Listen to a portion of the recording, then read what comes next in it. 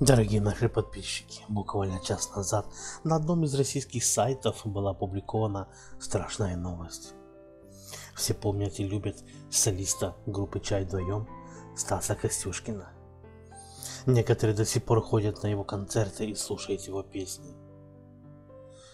Данной новости нам сообщают, что сегодня ночью Стас Костюшкин был доставлен в одну из больниц города в тяжелом состоянии. Как оказалось, он попал в аварию на своем автомобиле марки BMW.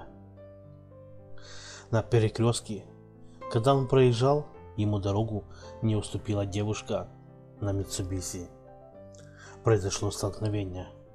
Автомобиль Стаса Костюшкина вылетел с дороги и перевернулся на крышу.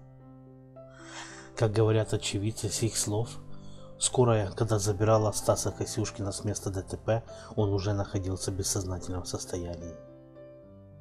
Больше пока подробностей по поводу аварии мы не знаем. Мы следим за развитием событий, как только нам что-то станет известно, нам сразу же об этом расскажут. А мы расскажем вам на нашем YouTube канале. Давайте, друзья, поддержим Стаса Костюшкина. Будем надеяться, что с ним все будет хорошо. Врачи пообещали связаться с нами и рассказать, в каком состоянии он находится на данный момент. Подписывайтесь на наш YouTube канал, жмите на колокольчик, чтобы завтра утром не пропустить свежий выпуск, который мы приготовили для вас. Будьте с нами, друзья. До скорой встречи на нашем YouTube канале.